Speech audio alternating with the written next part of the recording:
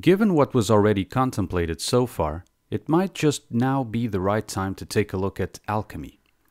Sure, there's that supposed secret chemical craft that hid a deeper but much simpler meaning beneath its proposition of turning lower, uh, lower metals into gold. However, that is not what I'm really going to contemplate on. I will use some of its terminology, sure, but my contemplation on alchemy is that of an individual internal process through which the observer can dissolve a fact, an event, a word, or even groups of these, to then obtain from them an unexpected golden meaning, a pointer that at the same time reaffirms reality's false state, which I will call Mercury in this presentation, and the beckoning truth behind it or beyond it, which is gold. That is my starting point. And yes, Carl Jung's ideas about psychological alchemy are dear to me, but uh, in, in this presentation I just diverge in the sense it is applied. While for Jung, alchemy is the process of individuation as a whole, and well, well done uh, work in that field, I see alchemy as a more momentary procedure, whose small results are bits that can be again dissolved together to be refined at a later incident. As any of you listen to any of my contemplations, you may successfully or unsuccessfully transmute the conjunction of words and phrases, or spells as previously observed, into ideas or realizations that otherwise would remain hidden still. Note that the responsibility of that success or otherwise does not lie solely on the alchemical capacity of the listener, but also on the ability, or lack thereof, of the speaker to provide the proper ingredients, so to speak, for you for you to process and, and get the realization of the ineffable shard that you can obtain. And even so, since there is a mixture of ingredients found in the self with those provided by the other, the results will invariably vary among individuals.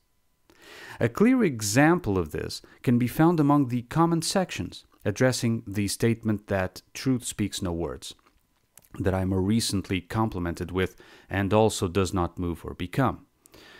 The external ingredients, that is, the statement and context provided, is the same to all listeners. Yet some will have been able to transmute the ineffable meaning, while others had different ideas about what was meant. Either way is fine. This is not presented as a test of any sort, nor is, is there any right or wrong answer. I am as far from a formal teacher as I can be. I am being more like a fellow learner who was asked to come before the class and exhibit his homework, if you can see that analogy.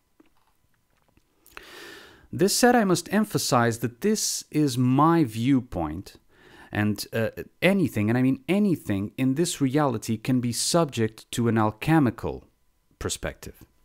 I mean, if you take any of Keith Jarrett's solo improvisation concerts, my personal favorite artist, by the way, and if you don't know any of them, the best entry point is the Köln concert that can be found on YouTube. It is clear that he is able to transmute the learned formal language of music into a voyage through his golden realization, which causes us to process our own inner voyages as listeners, if that's your thing, I mean. Anyway, whether it is the sublime musical voyages of Jarrett's improvisation or the mere annotated contemplations of this, your classmate, who tries to translate them into words for all of us, including myself, the alchemical process is verifiable. Since our egos love cataloging everything, it just makes it easier for the linear minds of our self homunculus pet, I will attempt to go through the stages of this internal alchemical realization process, which, remember, is in my view a process that goes on at each momentary incident or event that the individual is faced with, using the stages of the magnum opus system, which in fact Carl Jung also use, uh, used in a different, much broader sense.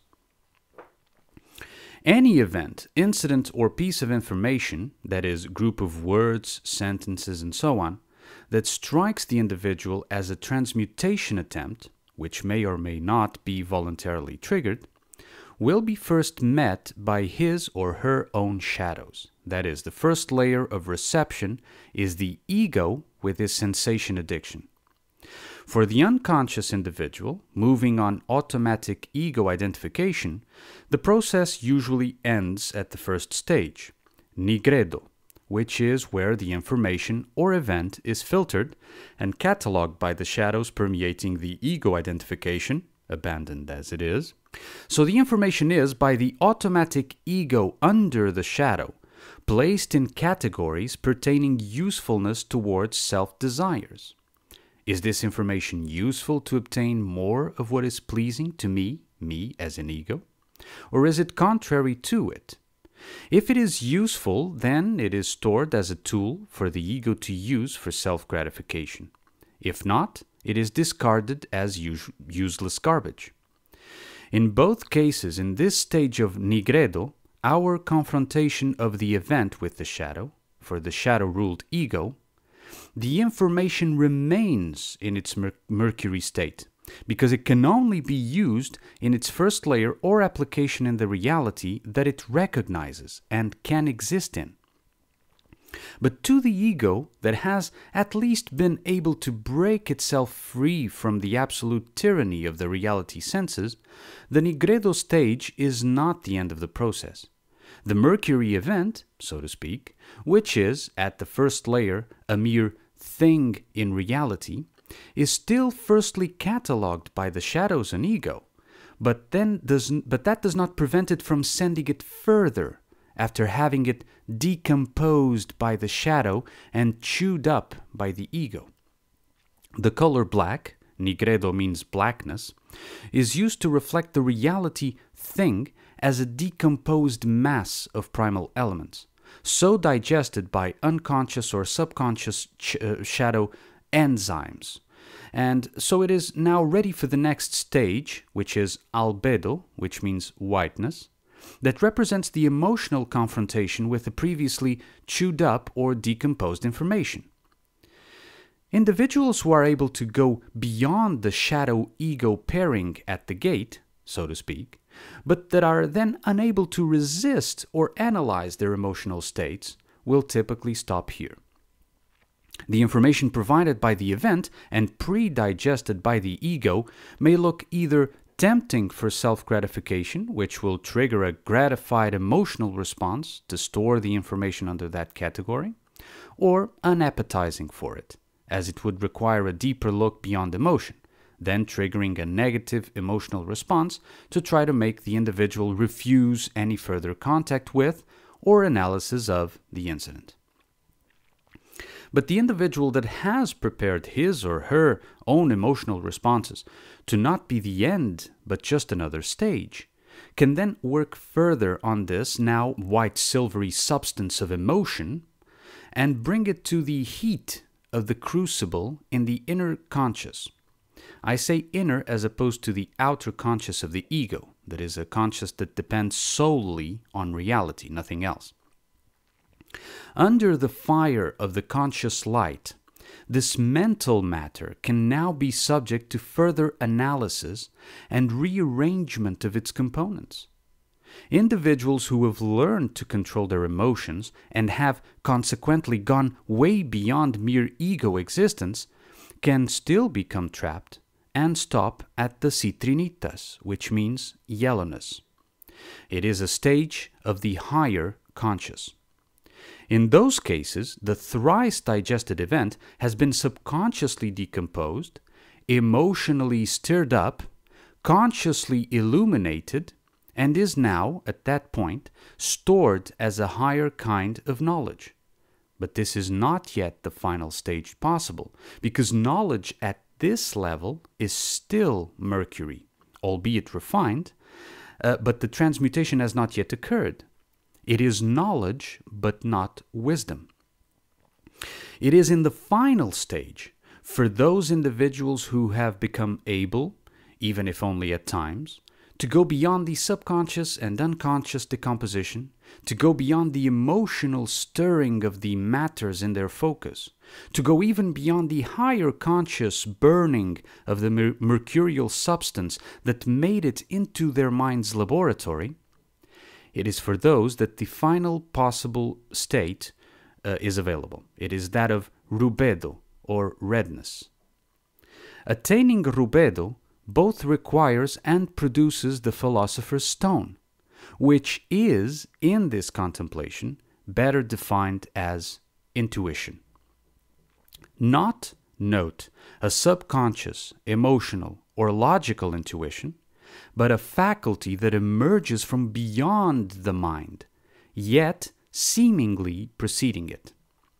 Every time this process is concluded, more intuition, that is, more philosopher's stone, becomes available to the individual. The application of this philosopher's stone intuition upon the mercurial information that went through all the previous stages is itself already a realization of truth beyond reality. Yet, as seen, it used only the matter which reality is made of, this mercurial substance that we interact with every day. That is why it is at this stage of sheer transmutation that gold is made visible from that processed mercury. When we take, for example, a text, the individual started off with an event or information that was solely composed of reality ingredients, words in this case, and then went through the indicated stages of processing them not resting in any of these steps until reaching the melding with the philosopher's stone, the true intuition, able to transmute the lower metal mercury words, in this rubedo stage, into the gold or true knowing, which is ineffable. At that point, the individual knows something, but may find him or herself unable to transmit or even translate the recalled knowing that came to be through the alchemical transmutation of that reality information. Usually, then, a reversal of the process may need to take place, as the obtained gold may need to be brought back down to Mercury for ego memory storage or for communication. I know, it seems complicated when I put it like this, but that's just appearance. Moreover, the steps of this entire process can take but an instant, so they may not even be recognized individually.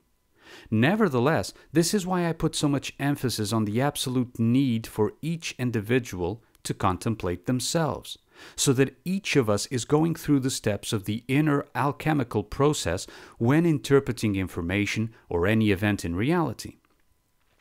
With this process, a song that was written to promote and enforce the system can suddenly be transmuted into a whole new and opposite meaning, screaming freedom from reality at every verse.